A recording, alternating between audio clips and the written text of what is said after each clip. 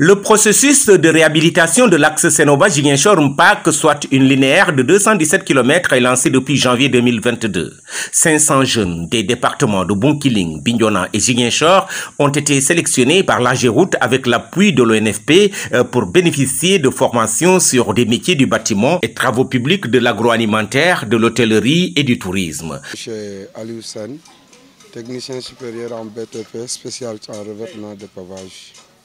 Bon, nous sommes là pour notre mission, c'est de former des jeunes euh, sous l'ordre de l'organisation de l'ONFP qui a choisi notre école comme opérateur, EZEBAT. On est venu là pour former les jeunes en pose et en fabrique et pose de pavage. Donc euh, dans le contexte de répondre à une demande sociale, c'est-à-dire la rénovation de la route par Ageroute du tronçon sud de Sénéba Ziguinchor. Euh, vraiment, ça s'est passé dans de bonnes conditions.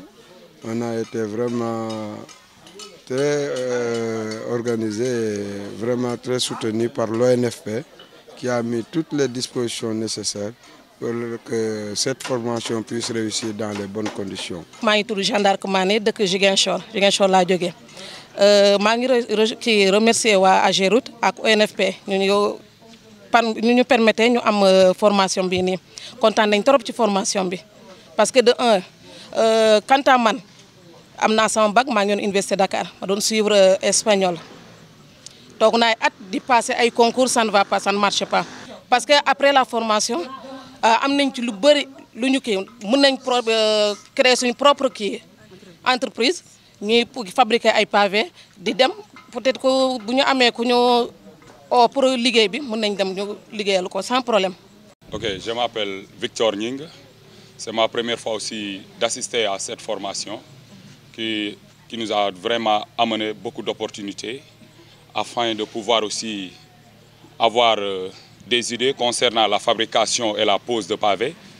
Vraiment, nous remercions l'AGEROUTE et l'ONSP de nous avoir vraiment formés. Et vraiment, nous souhaitons qu'ils puissent aussi nous intégrer dans les sociétés. Ce programme de formation de ces 500 jeunes des trois départements de la zone de projet va sensiblement jouer sur l'amélioration de l'employabilité de cette frange de la société.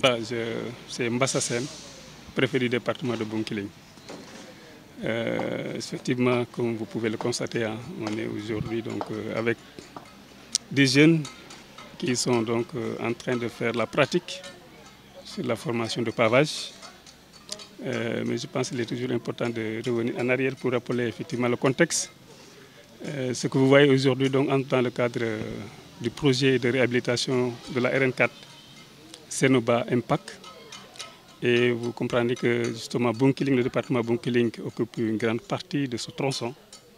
Et justement dans le cadre de ce de projet, il a été retenu donc avec l'AGEROUTE euh, un programme de formation de 150 jeunes au niveau du département. Et aujourd'hui, donc après tout le processus qui a été un processus inclusif et transparent, avec donc euh, un appel d'offres un appel à candidature pardon, qui a été lancé suivi de dépôt de candidature au niveau des structures, notamment les mairies, les préfectures, les sous-préfectures de la zone d'influence du projet, évidemment. Nous avions donc à l'époque procédé donc à la sélection des jeunes du département euh, qui ont donc eu à déposer leur candidature. Aujourd'hui, donc, on est dans la phase pratique avec la formation en pavage, mais d'autres, il faut le rappeler aussi, sont en train d'être formés soit en hôtellerie, d'autres en restauration, d'autres en BTP, d'autres aussi euh, dans d'autres domaines euh, de spécialités qui ne sont pas peut-être euh, ici dans le département.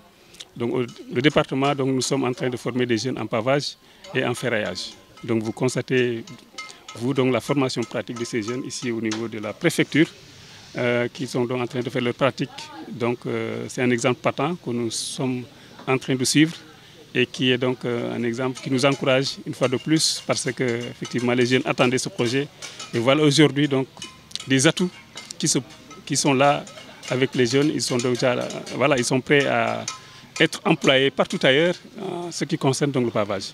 Donc c'est déjà un atout pour le projet mais également peut-être les entreprises qui seront là pourront peut-être euh, utiliser ces jeunes dans le cadre de, justement de l'exécution du projet.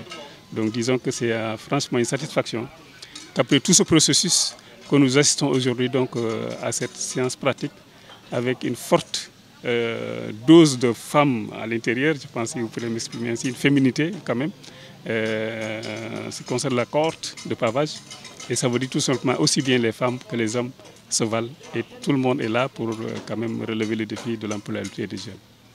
Et nous en remercions, nous remercions pour finir donc la Giroute avec ses partenaires, notamment l'ENSP, qui a bien voulu donc euh, organiser ces séances, et également les acteurs qui sont là, les formateurs, euh, l'entreprise qui a gagné le marché et qui est en train donc de faire ce travail, qui est un travail excellent. Ce projet est financé par l'État du Sénégal avec les concours de la Banque africaine de développement, euh, de l'Union européenne et de la Banque européenne d'investissement. La mise en œuvre du projet de réhabilitation de la route Senoba-Jiguenchor-Mpak et de désenclavement des régions sud qui consiste en la réhabilitation de la route nationale entre Senoba et Jiguenchor se poursuivent par la section Jiguenchor-Mpak à la frontière bissau-guinéenne. Il connaît depuis son démarrage un rythme très satisfaisant.